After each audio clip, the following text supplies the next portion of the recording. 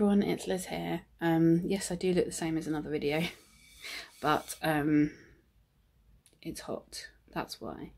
And also, uh, my Sjogren's is in flare today. I'm very tired. As you can probably see, I'm puffy around my face and my eyes. But this video is on my skin issue, which is nodular prurigo. Um, now, most people with EDS do have skin issues, whether it's stretchy skin, easy bruising, poor healing, um, things like that. And a lot of people have like eczema, psoriasis, um, just random rashes they can't explain. Heat rashes are quite common as well.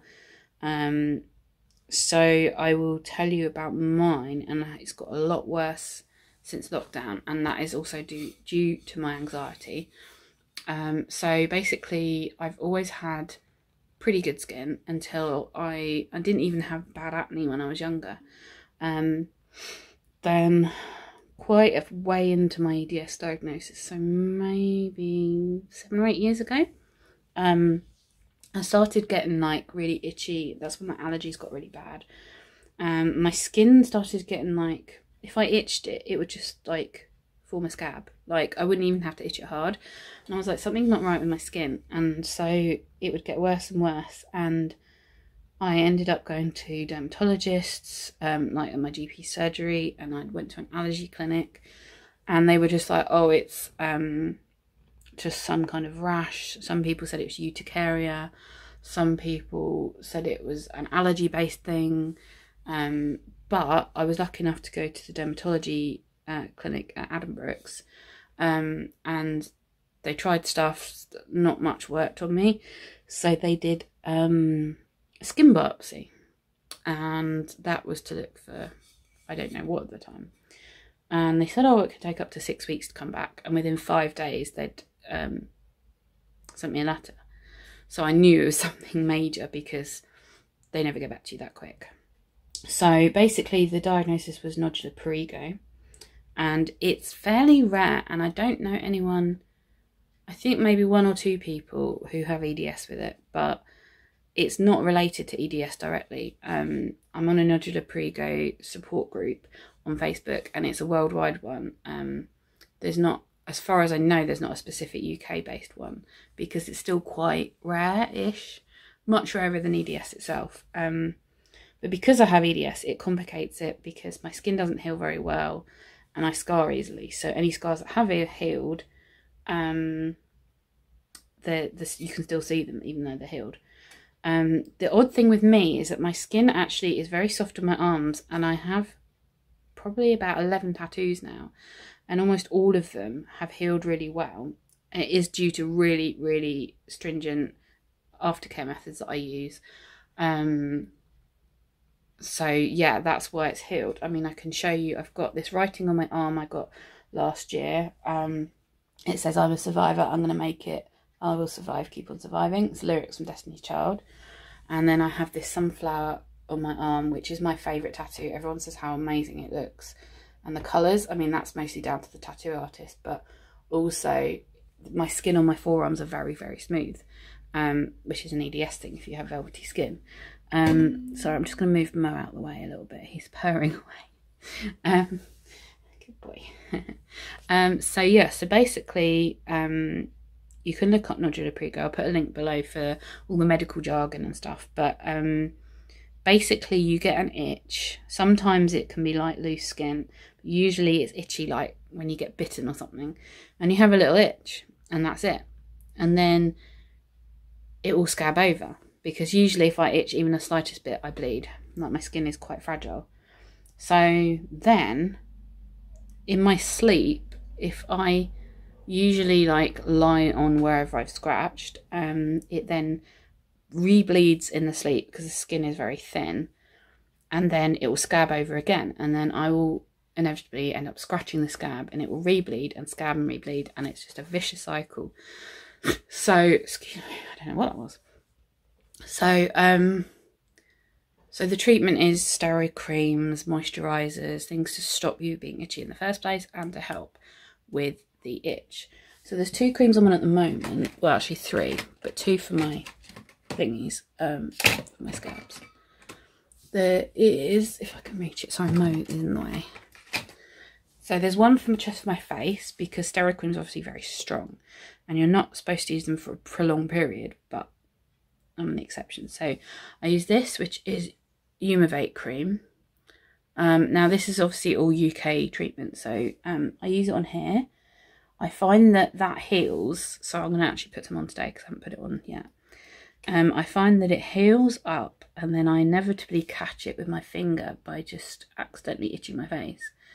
And then it just opens up. So this is only since last night. Um, this works really well actually, but you have to make sure you wash your hands afterwards um, because it's steroid cream. Now, I'm going to show you the ones on my arms mostly because they are pretty bad at the moment. Now, I do actually think I have another problem going on because I have had really bad anxiety and depression since last beginning of last year. As you'll know if you've seen my previous videos. It's pretty much under control now, but I think part of my anxiety is I don't sleep well. And at night time it's always worst because I've started to skin pick and looking into it more, having seen other YouTube videos, I might possibly have dermatillomania because I will pick and pick, even if it hurts and I know it's going to like gouge my skin out, I still do it. But the trouble is, a lot of people who have this go to their GP and they get labelled as self harming. And obviously, for me, I have the skin condition that causes me to itch. So, and I know it self soothes at night because my husband snores, and when I can't sleep, I start to feel my skin. And I don't like to feel bumps on my skin. And I know that might sound crazy to people who don't have this, but if you do, you might be right able to relate. I like to have very flat, smooth skin, so anything that's bumping, I have to pick at to get rid of it.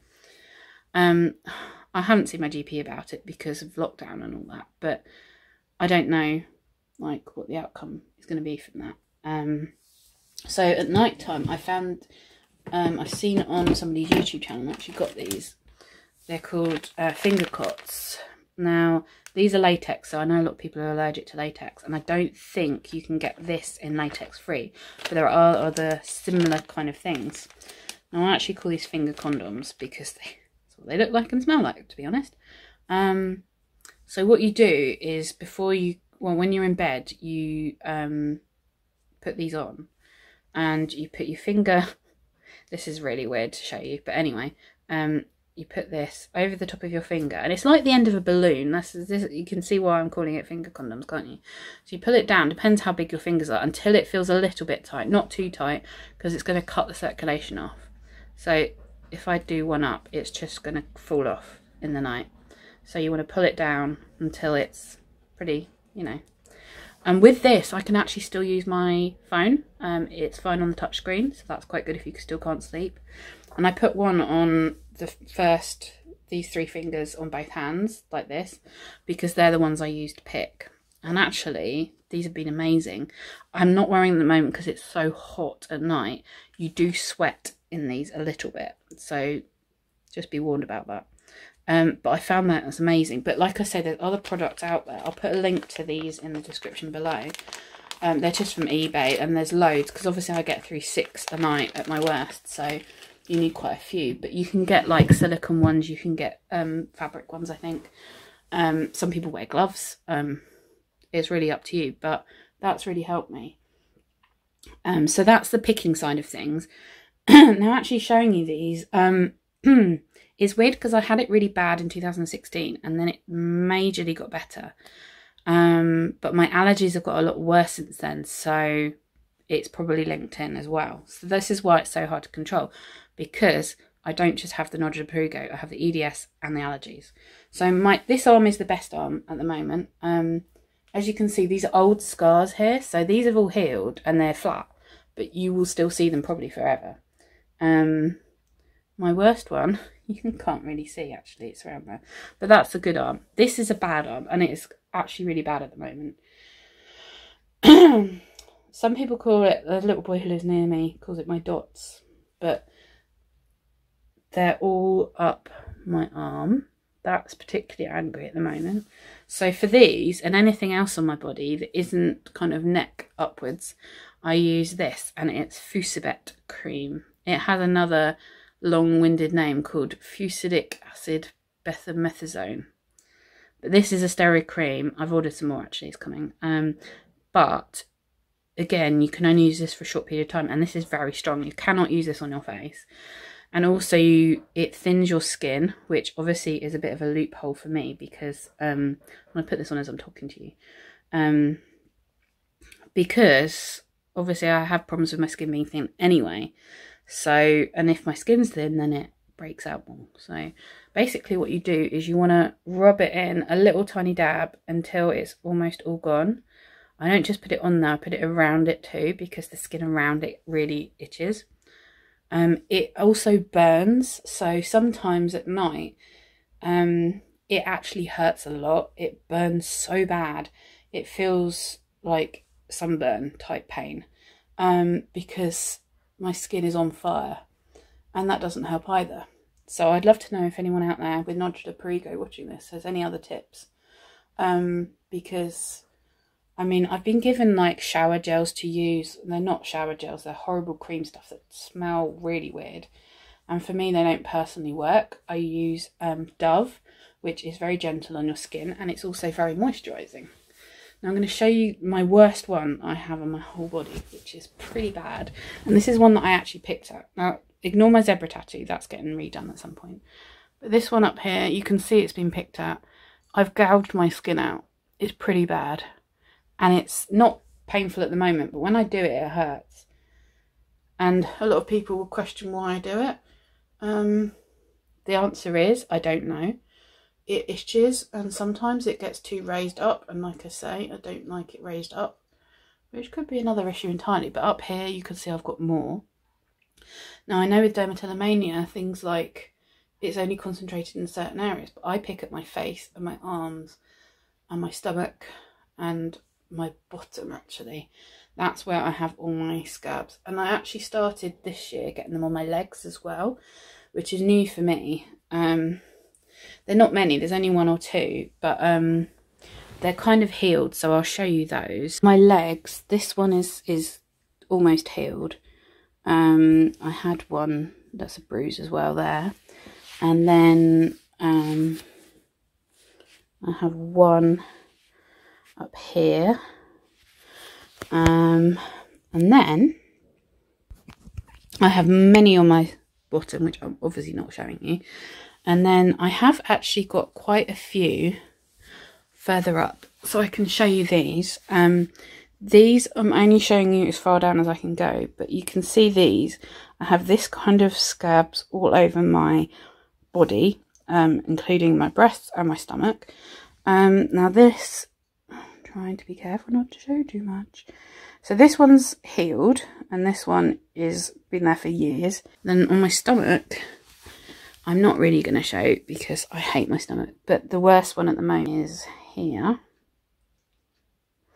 So they get very red and angry and obviously they can get infected. Um, very aware if they do get infected because obviously they get redder and angrier. The other thing I actually use, which I can show you as well is my doctor who a GP at my surgery has a um, speciality in uh, dermatology brain fog moment. And I use this. It's a steroid tape. Um, basically I don't know actually how long you can wear it for but I tend to have it two or three days because effectively it has steroid in. You can put cream under if it's really bad um, to moisturize it and stuff like that but you do need scissors for this as well. Um, it's not pre-cut. It comes in a tube with silica gel inside because of the moisture. So you pull a bit off. You don't get a lot on your tube, so you can't waste it. Um, I usually cut, oh, I cut up here, and then you can get the bendy bit in the middle, and then I cut it into four. So I usually have more than four that I need to like cover over. Also, it's good if it rubs against you or your clothes or other skin, you know, it really does help. And I try not to use it too often because I really like um, to keep the tape as long as I can because it's really, I think it's quite expensive for, but in this country, obviously, the NHS does pay for it and I'm super grateful for that. But like, for example, um, I'm trying to think of one I can show you on my arm. I'll probably show you this one. So you just peel off the paper and you get this. So this is very sticky and you put it over and this is also waterproof. Um, it sometimes comes off in the shower. As long as you don't scrub too hard, it should stay on. And then you just put it on. Sorry. I don't know if the camera's able to pick that up at all, actually. But yeah, you can see it's pretty clear. So it's not immediately obvious, so that's quite good too, if you're self-conscious. I've ended up just not being self-conscious anymore because I'm aware they're there. And even when these do heal, these scabs, I'm still going to get this. I'm still going to get scars. And the one thing I did get when I was in hospital last year is I have a lot of scars on my back and my bottom. And they're like, oh, have you got pressure sores? Have you got chicken pox? That's another one I get. And I'm like, no, it's nodular prurigo. And of course, I don't know what it is. Um, so it's a bit tricky. Um, yeah. So this I use sometimes twice a day, morning and night, depending how bad I am. But I try to only use it once a day because I don't want my skin to get even more thin than it already is. Um, that I have had other creams. I've had so many other creams, and also every single day I use on my arms and my feet actually because my feet are bad. Um, I'm on this, which is called Dermabase. No, Diprobase. Sorry, it's actually eczema cream, but it's really good. I used to be on one called Zerobase. It's basically the same thing, but it's a different company name. Um, you have to make sure you refresh this every three or four months because it stops being functional. And some people say, oh, you wouldn't know, but honestly you do because when I was in hospital, I was using my old cream and I noticed that my skin was a lot worse. And I was like, why is my skin getting worse when I'm using this cream? And when I ordered a new one when I got home, I noticed the texture was so much thicker and not as liquidy as the other one that, yeah, it had gone off. So it does go off um, and it stops being as effective. And when I started using it, it was so much better. Um, so, yeah, you need to make sure that your creams are all in date. Um, the ones I'm using now on my body and my face, um, I tend to get through them so quickly that they don't really have a chance to go out of date. Um, and I can always like if I don't know I can go back to my doctor they're pretty good although they're not like massively knowledgeable on nodular prurigo most of them know about skin issues. And like I say we have a GP who specializes in skin issues. And also um, they can refer me straight back to the hospital to the dermatology department. Um, so that's always an option if it gets out of control. And if they also like don't have any more things to prescribe from the GP and they want a more specialist like view or if they think that I need some more tests because I have been getting symptoms of infection quite a lot like boiling hot. And the trouble is I've been in and out of A&E with COVID type symptoms which we now think was probably just skin infections but I had spiked a temperature of I think it was 38.9 which is very high obviously. Um and just not feeling great and just feeling sick and headachy and but the thing is I can't go on antibiotics that's another issue a lot of people have antibiotics to clear up the skin if it gets really bad um, mine however um, because I got C. diff last year and that was caused by antibiotics ideally I mean if you need them as an absolute emergency then you can have specific ones but I've chosen not to have them because um, I don't want C. diff back, to be honest. And my stomach is already in this heat not behaving great. Um, so yeah, if I was to take antibiotics, there's a potential that it can bring back the C. difficile infection that I had, which is a bowel infection, um, for anyone who doesn't know. Um, and it's life-threatening, so yeah, that's why I was in hospital for so long last year. So, I'm putting one more bit of tape on now, I'd love to hear from people all around the world, but I'd particularly like to hear from people in the UK who have nodular prurigo. What treatments you're on, um, how you got diagnosed, uh, what other medical issues you have as well, because usually there's something, even if it's something like eczema or, I don't know, something that affects your skin, allergies, that kind of thing. Um, I hope this has been useful for you to get an insight into what it's like to have nodular prurigo. Um, if you can relate to this as well, um, I've been very open and honest about it as well. I do find that I get much better if my diet is better. Um, but because of all my allergies, it's very hard to find a balanced way of managing both my allergies, my stomach, and my skin, which, you know, is tricky. Um, I tried everything. I've tried like smoothie only diet, diets, blending my food. I'm on the FODMAP. I've been on that years. I eliminated all everything and brought back in things I'm okay with. Um, I've done so many things. Um, to be honest, I'm lucky my face is actually only this at the moment because I did have some down here, which you can see the scarring from.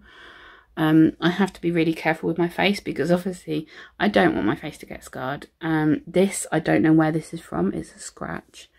Uh, I'm not doing great with my skin and the heat makes it a lot worse. And because it's hot, I need cold showers a lot to cool me down. And obviously showering more often um, it really affects my skin. I have to re-cream every time I've had a shower.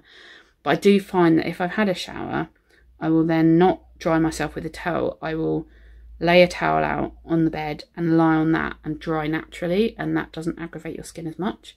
That might be a good tip. Um, obviously things like shower gels be careful with um, because they aggravate your skin too. That's why I use very gentle ones.